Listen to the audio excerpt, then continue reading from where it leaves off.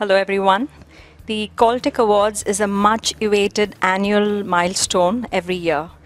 And we have been with the Qimpro family from 2010.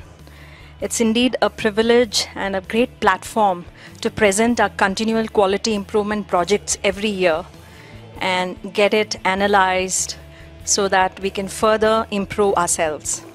In fact, till last year, the healthcare awards were along with the all other categories like the, the banking sector, the insurance sector, and just a handful of hospitals used to apply.